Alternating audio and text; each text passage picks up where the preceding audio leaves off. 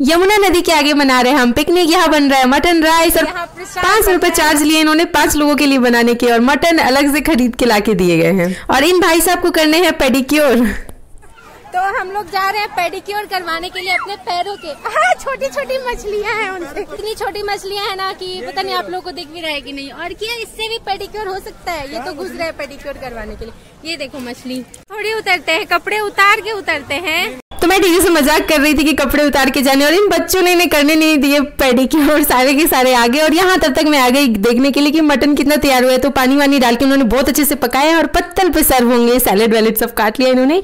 और सच बताऊँ, भले पाँच सौ इन्होंने चार्ज लिए सिर्फ़ बनाने के बट इतना इतना टेस्टी बनाया था ना, इतना टेस्टी मटन तो मैंने कभी नहीं खाया था। एकदम गर्मा गर्म मटन, और वो भी नदी किनारे खाने का मज़ा ही अलग है। और कैसे लगा आप लोगों को हमारा पिकनिक ये पूरा का पूरा पिकनिक पार्टी हमारी तरफ़ से था तो कमेंट